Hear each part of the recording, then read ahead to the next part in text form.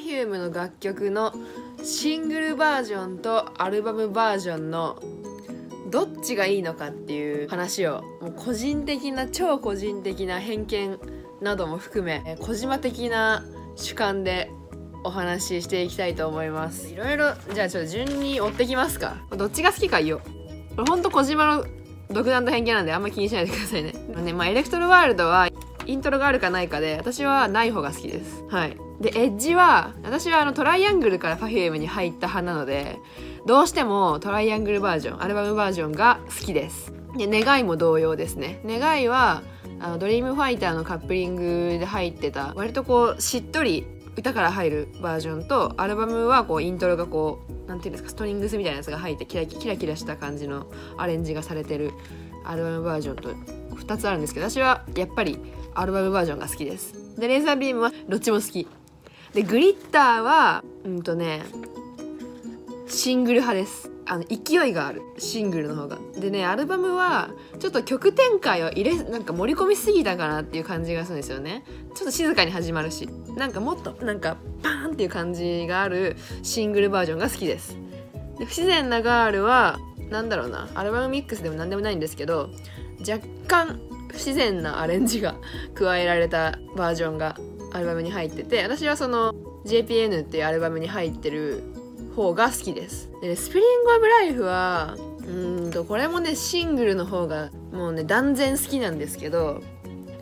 あのじゃ今日ね振り返ってレベル3をっていうアルバムを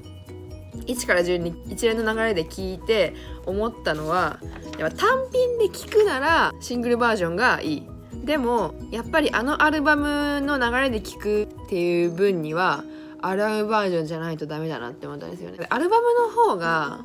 なんちょっとねこうシングルがこうテンション高めな元気だとするとアルバムはなんかちょちょっとだけテンション低いなんか暗いイメージがあるんですよ。勝手に。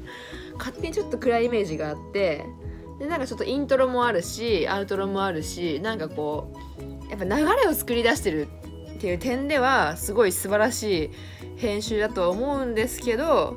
そのスプリング・オブ・ライフっていう単品で見るとどうしてもシングルバージョンが好きです。はい、でマジック・オブ・ラブに関しては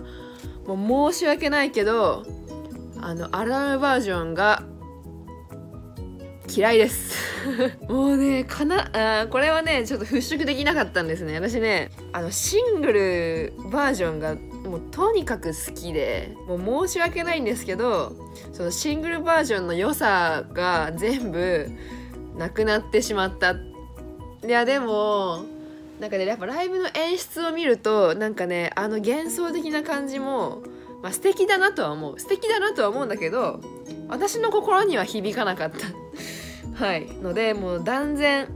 ねマジック・オブ・ラブはシングルが好きです。もうすいません。まあこんな意見もありますと。はい。まあでスペンディング・オール・マイ・タイムはどちらも素晴らしい。でまあフラッシュはまあこれもねもうね断然シングル派。シングル派なんですけど初めて聞いたのがアルバムバージョンだったせいでちょっとなんかちぐはぐしちゃってどっちが本物かみたいなのが最初分かんなかったんですけど本物も偽物ないんですけどやっぱりねかっこよさはシングルバージョンですよね。でもこう改めてアルバムの曲をちゃんと聞くと面白いしなんかあの丁寧 丁寧なやっぱりあれ？アルバムバージョンはやっぱりこう曲と曲の間にあるっていうことがやっぱりね意識されて作られてるんだなっていう感じですね。はい。スイートリフレインに関してはもともと他の曲ほどそのシングルバージョンを狂ったように聴いてなくてこうあまり上手な比較ができないんですけど、まあ、これもシングルのが好きですね。でアルバムバージョンはなんかこうね一定のテンション。なんかずっとまあなんかそれがねなんかリフレインなのかなっていう解釈もあったんですけどずっとこんな感じがしてでもシングルはなんかこうなんかなんて言うんだろう。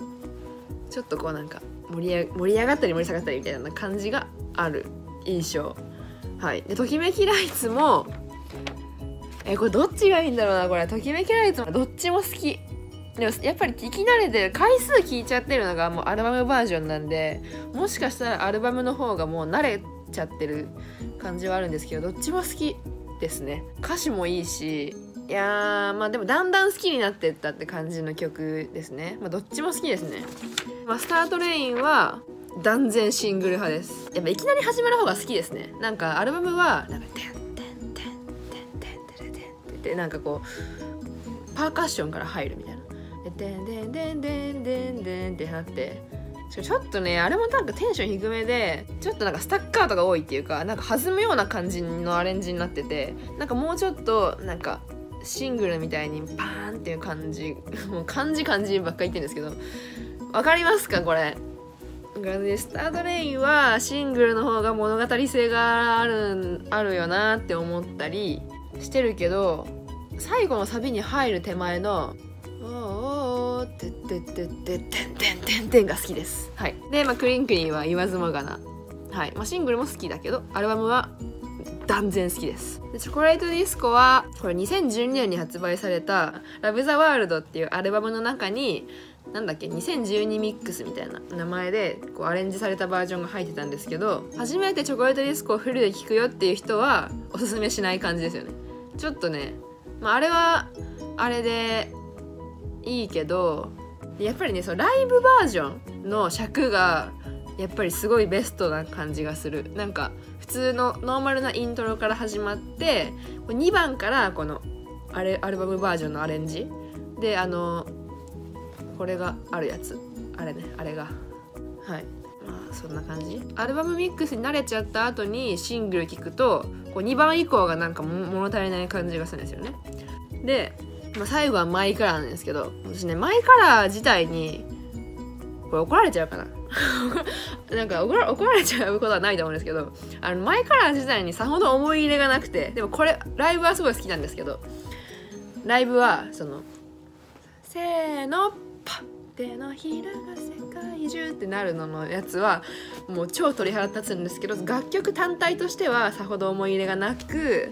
まあ、どちらかといえばリミックスじゃなくてノーマルの方が好きかな。はい。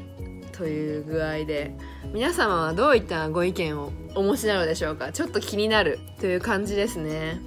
です。今回じゃあこんな感じで終わりたいと思います。また Perfume ネタ何話そうかな。ちょっとライブの感想とかはちょっとずつちょっとずつ更新していくとして。なんか何話そうかなっていうのもちょっとみんなにお伺いしたいなと思う所存でございます。というわけで今日はここまででございます、えー、皆さん、えー、ご視聴ありがとうございました。また次回の動画でお会いしましょう。では小島でした。